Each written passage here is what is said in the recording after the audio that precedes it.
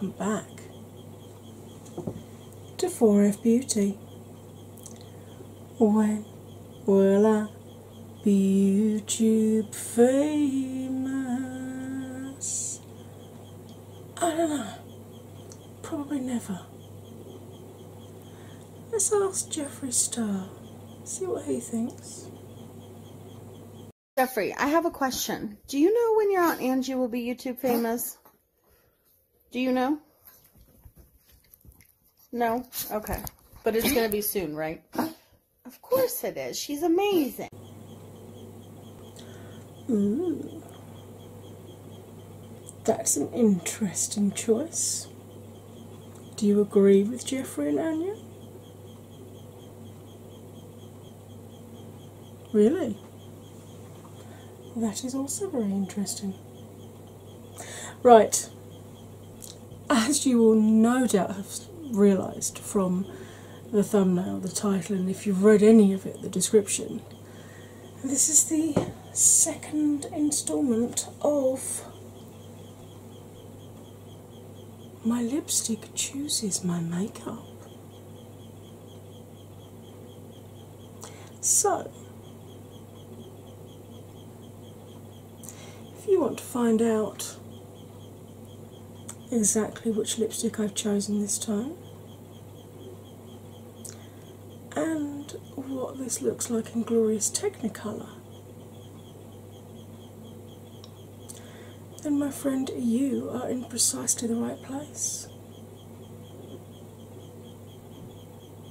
Grab a drink, grab a snack, put your feet up, and enjoy my part of the collaboration with the lovely Anya using the Safiya X Colourpop lippies. Hey, welcome back from the intro. Right, fingers crossed we don't get too much in the way of construction sounds from this side because hopefully think they're now on the tail end of the work they were having done. Uh, they've been in for over a week, so it's been quite a while since I've been able to film. Um, simply because by the time the evening comes round and the workmen go home, the kids are home from school and playing and laughing and squealing and jumping and and then by the time the kids go to bed, I've run out of spoons and I just can't record. So, hopefully, you shouldn't get too much in the way of construction noise today. But you will have seen from the intro, this is the next instalment of My Lipstick Chooses My Makeup. So, you will have seen in the intro hoping that I remembered to put it in there. If not, I'll put it in here. You will have seen in the intro Jeffree Star, the canine Jeffree Star, because obviously I'm collabing with Anya. So that was the little clip that she used in the first instalment of our lipstick collab. So I thought, hmm, Jeffree Star which automatically makes you think of the, the non canine Jeffree Star, which then makes you think of Patrick Star, which then makes you think of Patrick Star, which leads me to Bikini Bottom. So, that is the shade of lipstick that I'm going to be using today. There we go. Um, I have grabbed three palettes to produce him. I'm going to use the Violet Voss Fruit Sorbet for Patrick's pink body. I'm going to use the violets from Juvia's Place for the splodges on his shorts, and I'm using Pinky Rose Bright Lights for that beautiful bright green of his shorts. So, there we go. Uh, I do normally try and keep it to just the one palette, but today it just so happened that I needed three. These things happen. Right, uh, this is still a teaching channel. My chronic pain and the fact that I want beginners to be able to keep up with me means that I blend at a slower rate than others. There is a speed widget up there. Please feel free to use it if I'm not going quickly enough for you. Right, uh, I'm about to insert the clip about the difference between hooded and deep set eyes. Don't be frightened, but I'm going to be very up close when that happens. And then once I've finished explaining that, I can get into putting some colour on my eyeballs. So, eye definition coming up right now. Now, um, my eyes have this primer on it. This is the and Pebble primer in blank page cotton. I do have a discount code for this. It is not affiliated, I don't earn money from it, but if you use my code, you save I think it's 15%, and I earn pebbles that I can offset against future purchases from them. The reason I love the Chrome Pebble primer is because it's it goes on like a cream, but it has a powdery finish. So, unlike when you use a concealer or like a MAC paint pot, for example, you have the trade off between do I set it so I can blend easily, or do I leave it tacky so that I get the full impact of colour. You don't have that trade off with this, you can blend on it instantly and you don't lose any of the colour. Now, she does six different shades of this at the moment. White is the lightest, the deepest two are a chocolate brown and a black. Then there are three different skin tone shades as well, so you should be able to find one that will work for you. Um, I apply this with a flat brush just a very light layer, and then I buff it over with a fluffy blending brush to take any excess off and to make sure I've got a nice even layer across the eye. Now, I've got deep set eyes, so I get the same issues that people with hooded lids get. I get transference of colour onto the upper lid, if I'm cutting my crease, I have to cut onto the upper lid, not just through the socket. And if I'm using glitter, even with glitter glue, I get a bare patch in the middle. Because people with hooded lids get the same symptoms as people with deep set eyes, I see a lot of people with deep set eyes thinking they have hooded lids when they don't. So they follow the guidelines for hooded lids and wonder why their eyes still don't look right. So, I'm going to explain very easily for you how to tell the difference and what the two workarounds are. With my brows relaxed and looking straight forward, you can see all of my mobile lid from inner to outer corner. You can't see a lot of it, but you can see it. So I haven't got hooded lids. It's only if this upper lid comes down and completely covers part or all of the mobile lid that you have a full or a half hooded lid or what's known as a mono or an Asian eye. I'm going to demonstrate on this eye deep set eyes because this is the eye that I'm blind in, so I'll stay on screen and in focus. If I cover a visible mobile lid and close my eye, you can see I've got as much, if not more, lid that tucks back away out of sight. And if I do the same on the top lid, the static lid, you can see I've got about the same amount lid again that tucks back away out of sight when the eyes open. And it's those two bits of lid rubbing together that give me the same issues that hooded lids get.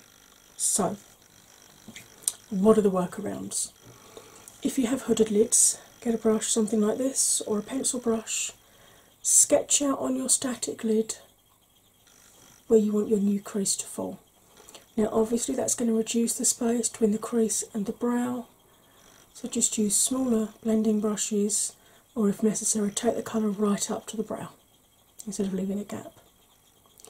If you have deep set eyes like myself, all we need to do when we're putting the colour through the crease, which nine times out of ten will be the deepest colour that we're using, just sit back, relax your brows, and make sure you brought it up high enough that you can see it when your eyes are open. So, two very different workarounds for two very different types of lids, but that have very similar issues.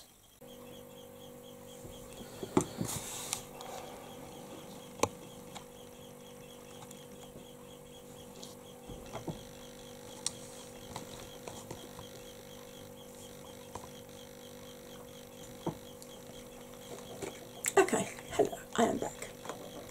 Right, I am going to start off. Do you know what? I don't think I've even used this palette yet. I swatched it, but I don't think I've actually used it. This is the. I got it in a sale last year in on Beauty Bay. This is the little fun sized, and when they say fun sized, they ain't kidding. That's the size of my hand. Look, yeah, fruit sorbet, which is basically their little little rainbow palette, and obviously I'm going into this shade for Patrick for his skin. Uh, I'm going to use one of these Docolor. going to focus? There we go. Docolor brushes that I got from AliExpress. They're okay. Um, they're more expensive than the AliExpress brushes that I link in the Which Brushes Do I Recommend film. Um, I just picked them up because at the time they matched my luminous green nails, but now obviously I have the pink nails for Valentine's Day with a heart this side. And how good is my nail tech? She managed to get Chris and Angie on one nail. Look at that. Oh, you can actually see that. Hopefully, you can. Anyway, this is a not. I'm not starting off with one of my massive blending brushes. I'm starting off with one of my tighter blending brushes because I want to have a little bit more control about how high it spreads. So, um, I don't think these have got any names on the actual shadows, so I'm going in with shadow number seven and I will have a chat to you a little bit about the lovely Anya, although I'm pretty sure most of you know her already. So, Anya. I have known her now quite a while. We um, we've collabed on a number of different occasions, both individually and as part of a collab. And we've had small collabs where it's three of us, so me, her, and Nona are, of course, the bitches of Eastwick, and she, I, and Angelica Lirma are the AAA girls. We've also been involved in much, much larger groups. Uh, for example, Paulina palette collab that we did to celebrate the lovely Paulina Aspion, who is one of the nicest people on YouTube in terms of the bigger um, channels. She's she's not. I mean, there are certain bigger channels, especially the one that is responsible for Bitches of Eastwick becoming a thing, but uh, are absolute, complete, and utter grade A bitches. They're well up themselves, they tend to forget that they started off small and they don't want to help smaller channels whatsoever because we can't help them grow, so why should they bother? Um, but Anya is absolutely not like that, and neither is Paulina. That's why we all got together and did the um, the collab for her. But it's just. The smaller beauty community is so much friendlier and supportive than the larger beauty community is. We are what the beauty community started as and what it should still be. Um, I mean, Anya is the queen of collabs. I'm just cleaning this brush off on a clean washcloth. Um, I don't like using colour switches, I find they're far too harsh on the bristles, especially if you have natural hair brushes. These are synthetic, but you know.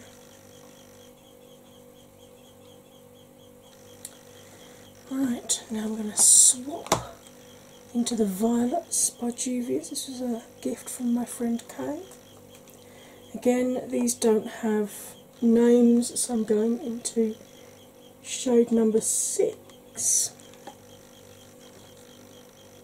I will do a full review on this palette, but I just, it was the perfect shade for the spridges on Patrick Schultz. Yeah, Anya is the um, she's the collab queen. She will collab with if she likes you, and she likes your channel, and she likes the kind of looks that you are producing.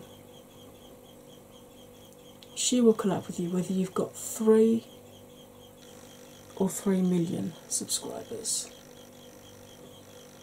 and she is so giving of her time and her advice, and it's just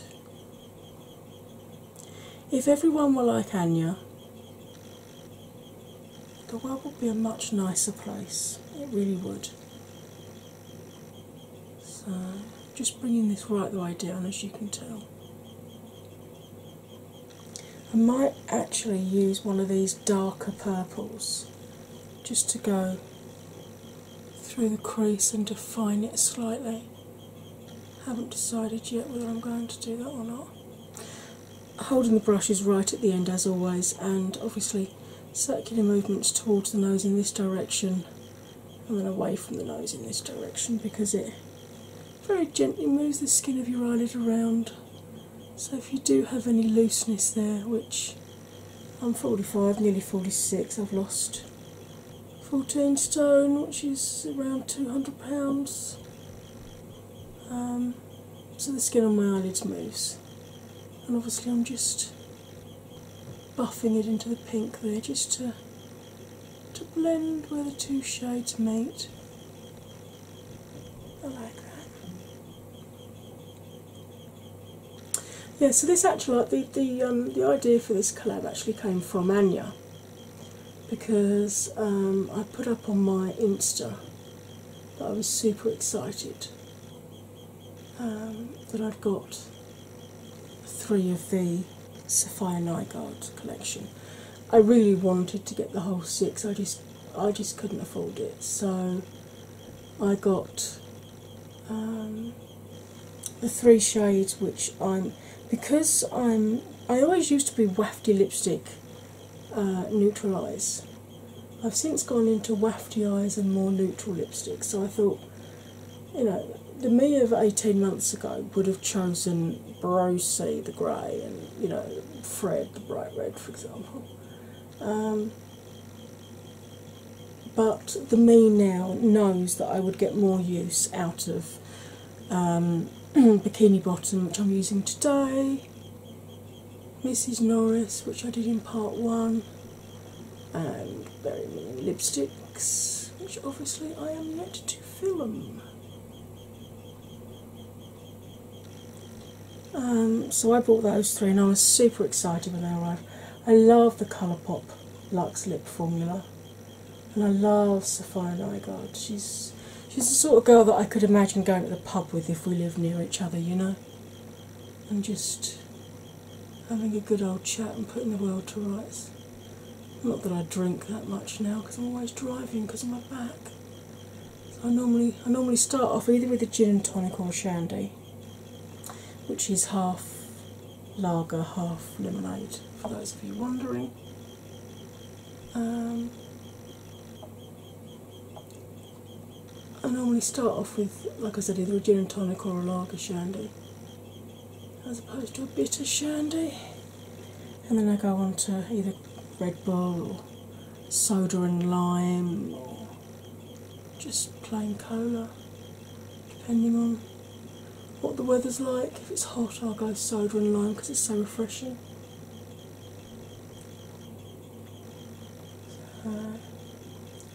But yeah, she's absolutely the sort of girl that I could imagine going to the pub with and having a drink with, putting the world to rights on a you know summer's afternoon.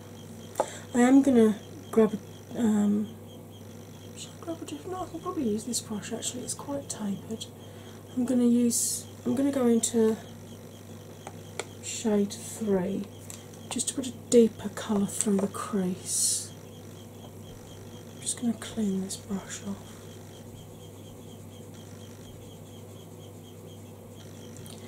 Um, yeah, so Anya saw my post about that and she's like, oh my god, I've got all six. I'm like, oh, I'm so jealous. So she said, how do you fancy doing a collab with them? I'm like, love it. What have you got in mind? And she had seen a film that someone else had done. I can't remember who now. Not even sure she told me who it was, but she rem- she remembered seeing a film where someone had based their eye look off of their lipstick. So she said we could do that, and I'm like, I absolutely love that idea. So that's what we have done. So the first instalment is up. That went up last week, and then you've got this one today, and you don't have to wait long because the third instalment is actually tomorrow. Why do I always get emails when I'm filming? It's always the way. Like this is what I was saying about if you've got deep set eyes, just relax and just make sure you brought it up high enough that you can see it when your eyes are open. So I'm just really just putting that through there very, very lightly, just to give the eye a little bit of definition before I go in with the bright green.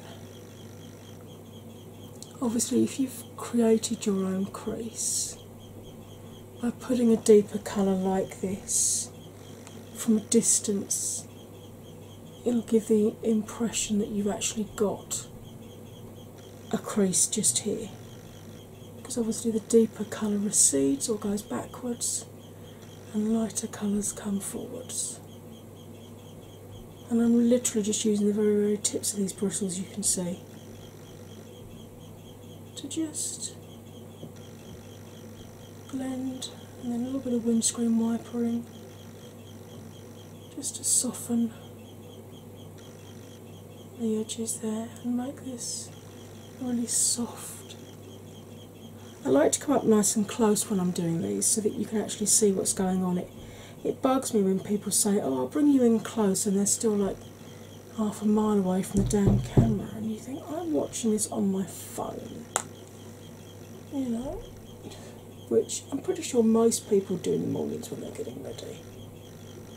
They'll pop a YouTube. I mean, I do it.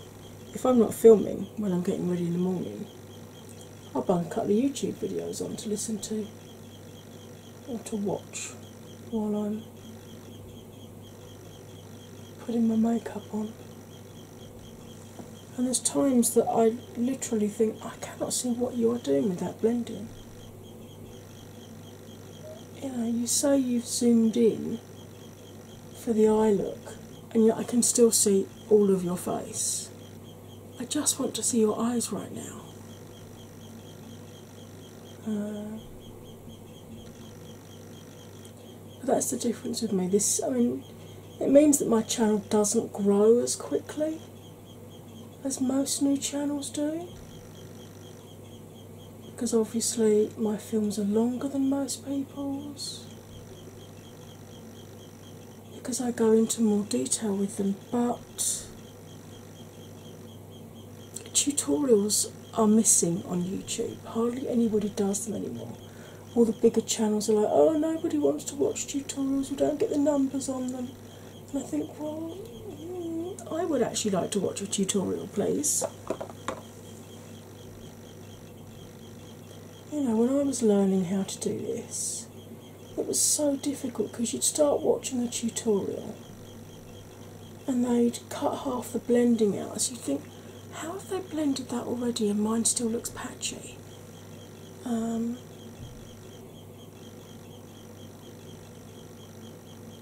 they'd say, right, that's that eye done. Now we're gonna, um, you know, I'll just go off camera and do the other one. You think, right, so now I've got to rewind what I just watched and then do it in reverse for the other eye.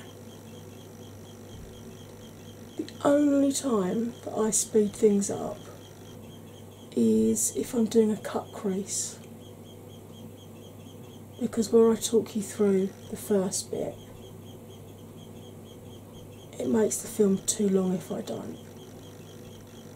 But that's pretty much the only time you'll get me speeding things up.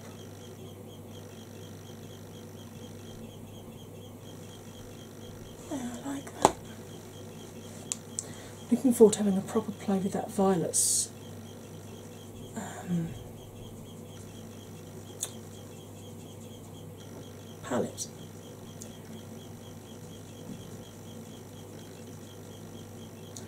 Juvia's. I need to film the second half of my um, makeup collection soon. I filmed the first half of the eyeshadow um, collection and declutter, but I need to get on and film the other half now. Right, I'm going into my Bright Lights palette and I'm going to use this Morphe Jeffree. Uh, it's a JS24, but it's the, the lip brush, but it's great for getting down into that corner. And I'm going to go in with a Smash, which is this glorious green just here. Now, obviously, it's a matte, so I'm not going to spray it like I would do if it were a shimmer. So expect fallout.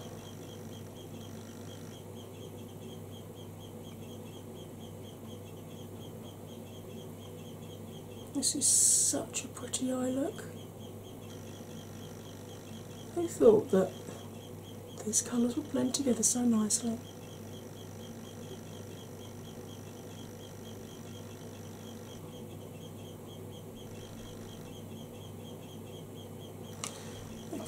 That's hella fallout. Maybe I will wet it after all. I'm going to use my Slay All Day in Jasmine because, uh, and it's the only scent that does it to me. The jasmine one just tends to um, dry out my jawline. Nowhere else, just my jawline. Right, so never go in with a wet brush to press pigment, so I have now sprayed the, the pigment on the brush. And I'm just going to apply the pigment. Now, obviously, it goes on a little bit darker at first because it's a matte and you've wet it. That's fine, it'll soon dry back to its bright green again. Now, I could have done a cut crease if I wanted to, but because it's a matte shade that I'm using, I didn't really want to do that. I'm Just going to use the tip of the bristles just to blend where it meets the deeper purple just there. See how pretty that looks? I'm just going to dry this brush off and then reload it with some more of that green pigment because the problem I get with my left eye where I'm blind in it, it was pulled around an awful lot when I was a kid at the ophthalmic hospital. So I've got super, super deep creasing on it just here. You can see it leaving with this tiger stripe effect. if I don't actually stretch the lid out to apply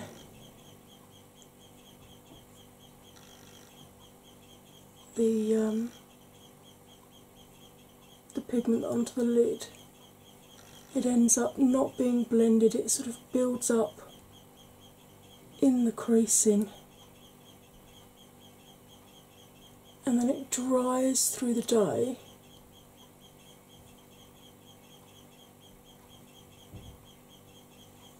And ends up just cascading down my face, and it just one you're then at risk of getting pigment in your eye, and two, you end up with it all down your makeup, all down your foundation, just looking a bit of a wreck.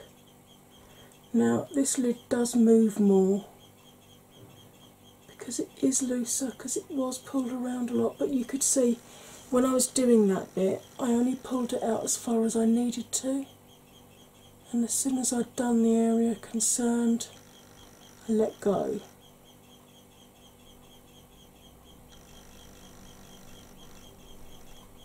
Because I don't want to pull it around any more than I have to.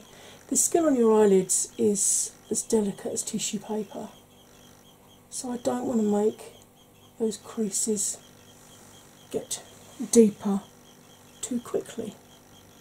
So, obviously, the best way to do that is to not pull it around too much. So, that's the plan.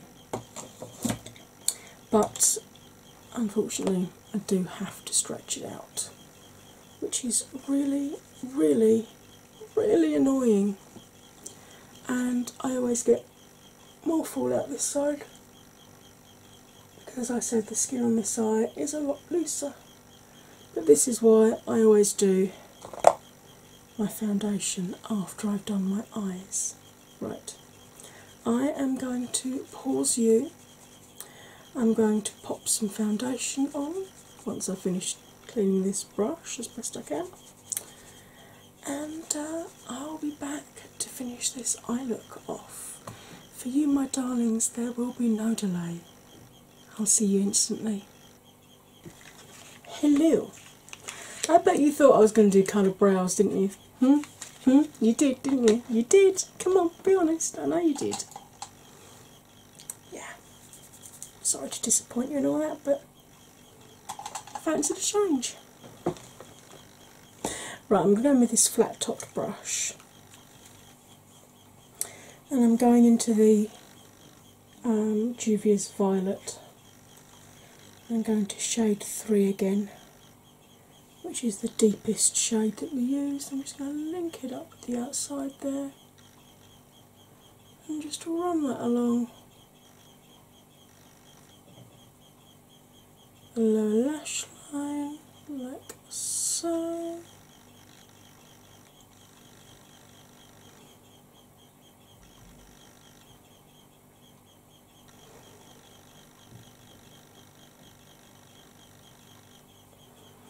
I always flinch more this side because obviously being blind in this eye I don't have any peripheral vision.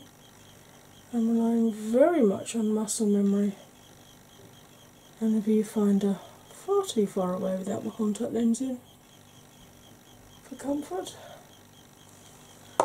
To not poke myself in the eye, regular viewers will know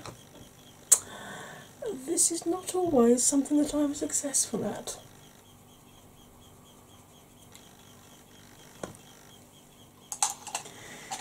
Regular viewers also know exactly which brush I'm reaching for.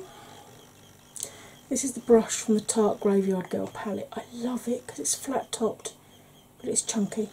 So it's great for blending out.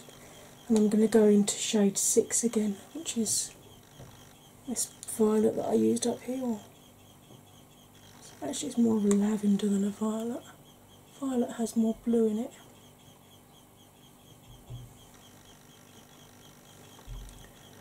I'm just going to use this just to buff the lower lash line, just to soften it out a little bit and tie top and bottom look together.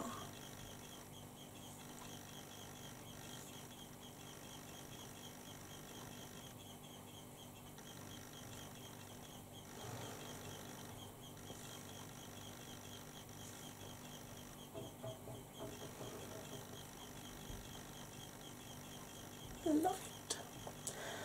oh, I wonder which lipstick Anya will have been using today.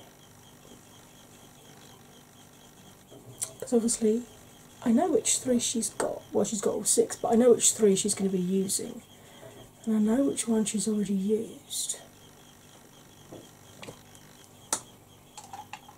But I'm not going to tell you, you're going to have to go and watch her films.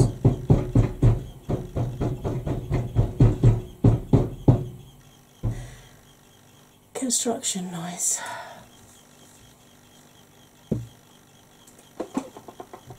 Gotta love it, huh?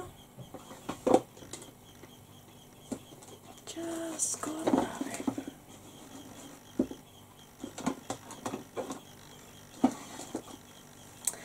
Right, I'm going to use my Ofra NikkieTutorials Glazed Donut Highlighter Patrick has very, very white eyes. This is the whitest highlighter that I have. So, I shall put a little bit of that just here and bring it along underneath and blend it in with the colour under my eye. I always do that. You don't have to, you can just leave it at the inner corner like that, but I just find that with my eye shape it looks much nicer if I just continue the colour along and down and then a little bit just up under the tail of the brow there.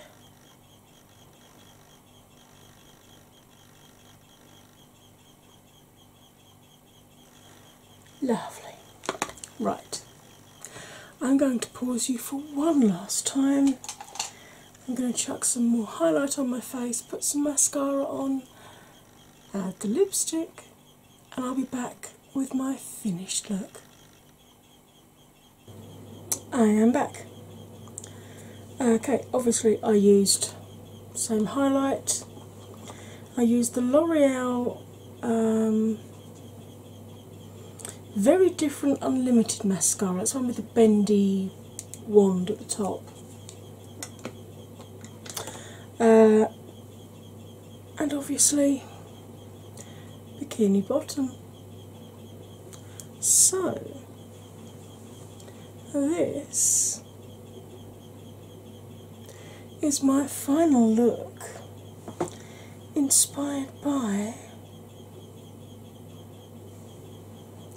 Bikini Bottom and Patrick Star.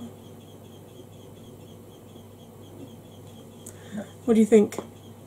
If you'd had Bikini Bottom to do, how would you have done it? Would you have done a look based on the lipstick shade, or would you have gone for the lipstick name like I did?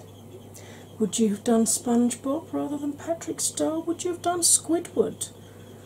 Would you have done a Krabby Patty? Let me know in the comments below. I'd be really interested to know exactly how you would have interpreted your look based around a lipstick called Bikini Bottom. Now, if you're one of my uh, 4F family, please double check you are still subscribed. You are still getting deleted off when you don't want to be. Uh, once you've done that and done all those good YouTubery things for me, you know, like, comment, share, I'm going to need you to go over to the lovely Anya's channel and do exactly the same things to her. And if you're not already subscribed to her, why not? She's lovely. Hit the subscribe button. You won't you won't regret it, I promise you. Now while you've been watching me, I've been watching Anya.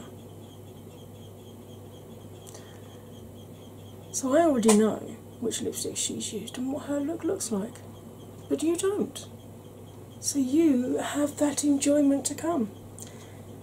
So refresh your drink, get yourself a fresh snack, sit back and watch Anya's film. However, if you've come here from Anya's channel, then You already know what her look looks like, and now you know what mine looks like. And if you've made it this far through the film, I'm guessing you must have liked something about watching me witter away at you.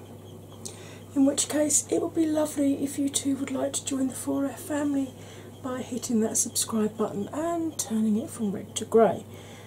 Then you can ring my bell,